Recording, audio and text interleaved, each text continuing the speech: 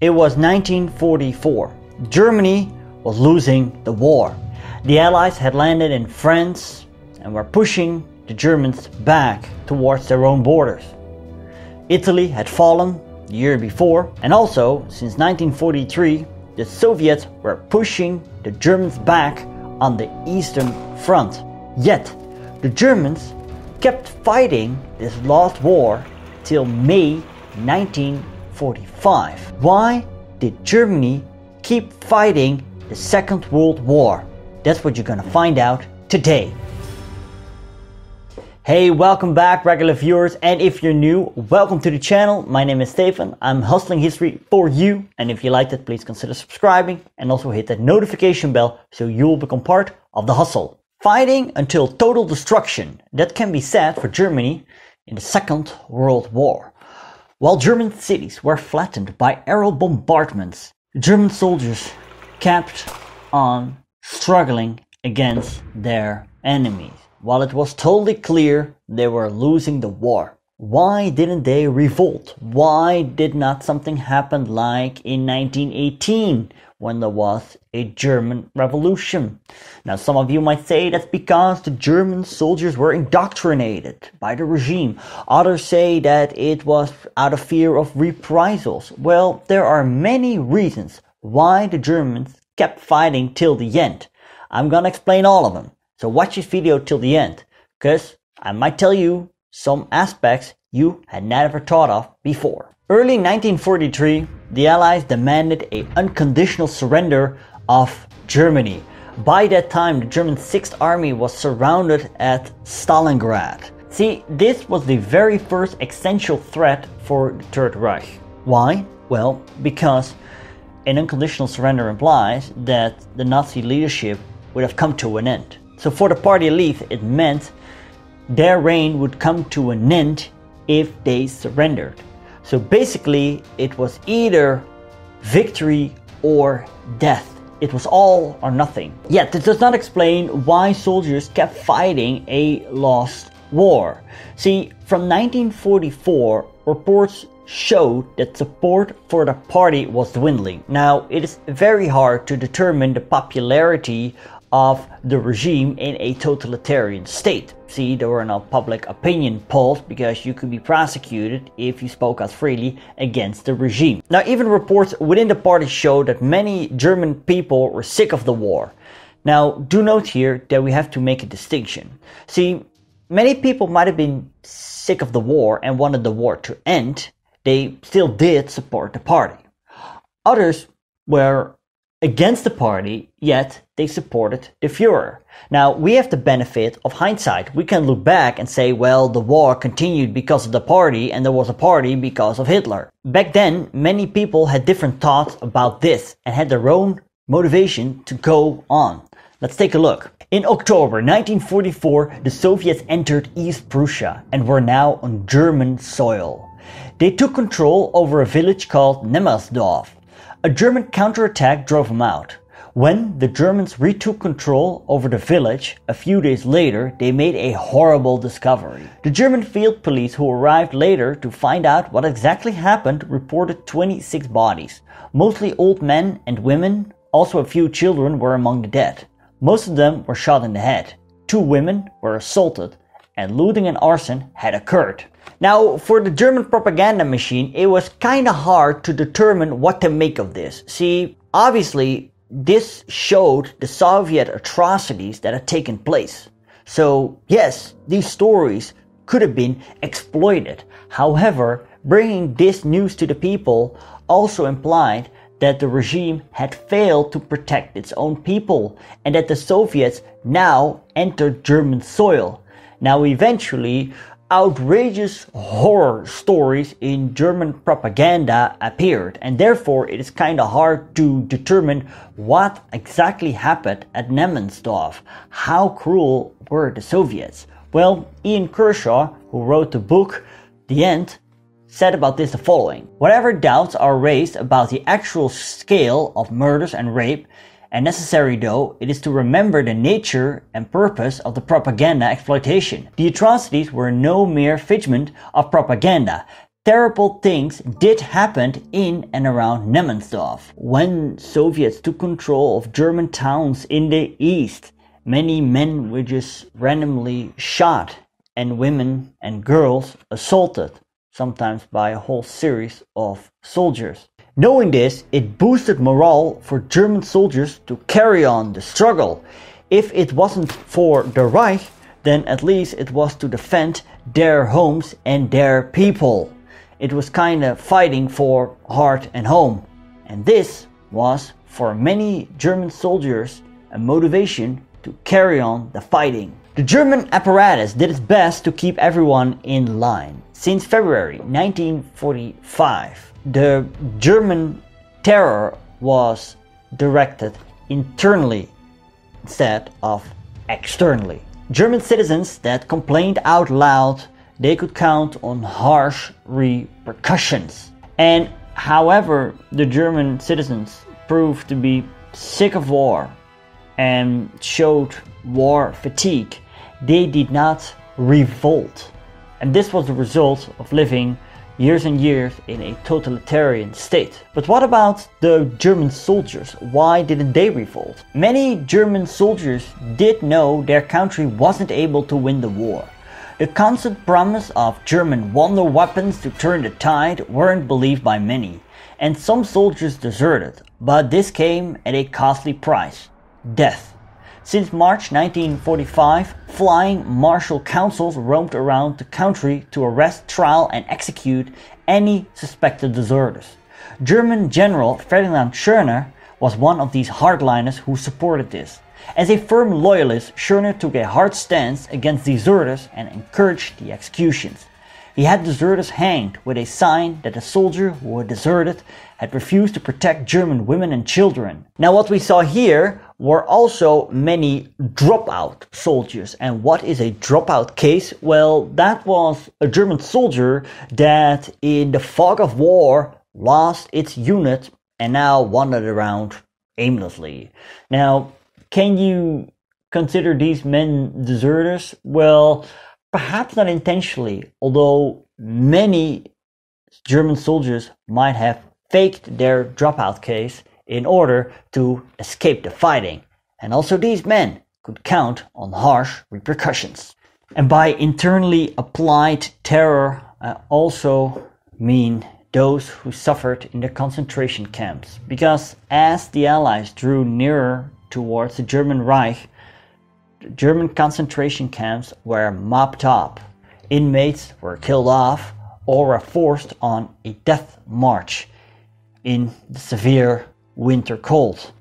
Many of these people died in the last months of the war. Germany was attacked from the east, from the west, and from the air. The Reich was shrinking by the day. Yet, despite under being immense pressure, the system did not collapse. And this is also due to the efficient system of bureaucracy. Civil servants, high and low, stayed on their posts. For example, till April 1945, wages were still being paid out and mail was still being delivered. Now, these civil servants did not stay on their post out of loyalty to the regime, but more out of loyalty towards the abstract concept of the state. And therefore, they sustained the system that was being under immense pressure, but did therefore not collapse. Another aspect that should definitely not be overlooked was that many lower and middle class officers proved devoted supporters of the regime. See, as the war progressed, Germany lost more men and thus more officers. Now, these officers had to be replaced by younger officers.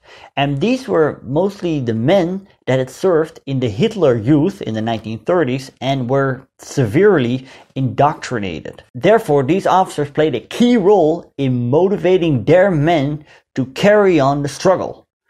But what about the high ranking generals? I mean, sure, there must have been generals who had a common sense, who saw the war was lost and were not willing to let the country and its people go down in flames. To explain that, we need to discuss a pivotal moment, and that occurred on the 20th of July 1944. Then an assassination attempt was made on Hitler's life, following by a coup attempt in Berlin. The name for this operation was Operation Valkyrie.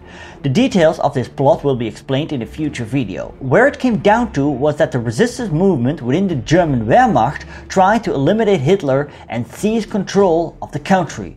It failed. We can only speculate what would have happened if the July plotters were successful. Perhaps they would have signed a peace treaty with the West and carried on the war in the East. Or perhaps they would live up to the unconditional surrender, and perhaps another stab at the back myth would have been born. Perhaps a civil war would have occurred. But these are all what if scenarios, and these are beyond the scope of this channel. Now, what we're going to look at now is what were the results of this failed July plot? Well, I can tell you these results were tremendous. Apart of the fact that these July plotters were arrested and executed, among which Claus von Stauffenberg, it led to a purge in the high command. Therefore, generals who proved to be skeptical towards the war effort were replaced by hardliners. This was a key reason why the war was dragged on for so long. Because now the people in the top were only people who were willing to fight till the bitter end. And this radicalization worked itself from top down to bottom. This radicalization was also intertwined with Goebbels' total war idea in February 1943, Goebbels held a speech in the Sports Palace to a carefully selected crowd who were asked if they wanted a total war, yes or no.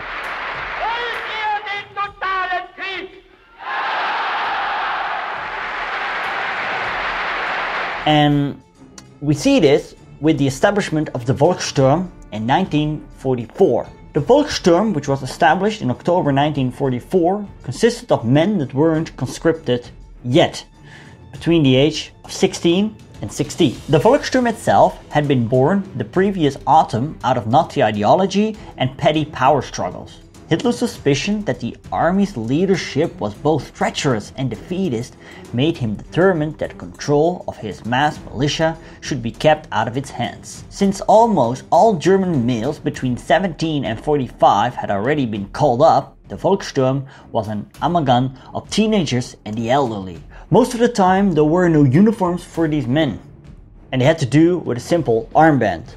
When it comes down to weaponry, Prit Buttar wrote the following about it. Equipped with a mixture of Russian rifles, German light machine guns, and Panzerfaust anti-tank weapons, these men now prepared to face the feared Bolsheviks. Now obviously this military formation proved worthless and prolonged the war and therefore the human suffering. A total war couldn't be more total than this or perhaps it could. Another element of Germany's total war were the stronghold tactics. By declaring major cities in the east like Budapest, Königsberg, Danzig, and Breslau to so-called Festungs, it meant that these cities had to hold out till the bitter end. Civilians and forced laborers were called up to work on the fortifications. In East Prussia, hundreds and thousands of people were put to work to establish the so-called Eastern Wall. But Eventually, these preparations proved to be drops in an ocean. The tactical fortifications already proved unsuccessful in Russia because the Red Army moved around these strongholds. It ensured major destruction and human suffering and prolonging the inevitable. One of the most insane battles was the Battle of Königsberg that took place in East Prussia. The city was largely destroyed during air raids in the summer of 1944 and now besieged by the Soviets from January 1945. The final assault took place on April 1945 and left 90% of the city in ruins. The Soviets would later annex it and rename the city to Kaliningrad, which till this day is a Russian city. And so the war dragged on. And the longer it dragged on, the more insane it got. Between July 44 and May 45, more German civilians died than in the years before. Many died in the aerial raids. Did you know that most elite bombs were dropped after July 1944? The Soviet invasion of the Eastern Territories led to additional civilian deaths. Around half of the military losses were suffered in these last 10 months of the war. A total of 5.3 million men of the 18.2 German military personnel died over the course of the war. Till July 1944, 2.7 million were killed. In the last 10 months, an additional 2.6 million were killed, of which 1.5 million was killed at the Eastern Front. Towards the end of the war, around 300,000 to 400,000 men were killed in action each month. The German people now were fatalistic. The only thing they could do was keep their head down and pray there would not be a bomb landing on their heads and that the Americans will be there to liberate them rather than the Soviets. And this brings me to the most important reason why Germany fought till May 1945. And that was because of one man, Hitler. Hitler proved to be very stubborn and rigidly. He did not want to surrender. He wanted to keep fighting till the bitter end. He did not want to have the same disgrace as in 1918 with the disregarding of the human suffering it ensured his buildup of a totalitarian state where all forms of collective leadership are rendered non-existent over the course of the 1930s laid the groundwork for this collision course. Hitler's rigidity excluded all other options. This was enlarged by the fact that he was supreme commander of all armed forces. Those directly below him never broke with him. Goering, Himmler, Goebbels, Bormann, or realized they had to do so too little too late, like Albert Speer. And the other German elites, they lacked the collective will and means to resist the collision course of their Fuhrer, which basically ended after Hitler took his own life. However, between Hitler's death and the actual end of the Second World War in Europe, there's another story to be told. But that is a story for another time. So make sure to subscribe so you don't miss out on that video. Thanks to my patrons you see on screen and a special thanks to Henry Clarkson, Cooling Castleman, the President, Michael Nosek and Wombat Cookie. If you want to support me, go to the link right here. If you want to know more about the last battles that were fought, you can click right here for the Siege of Breslau and here for the Battle of Berlin. I want to thank you for watching. Do not forget to subscribe. See you later.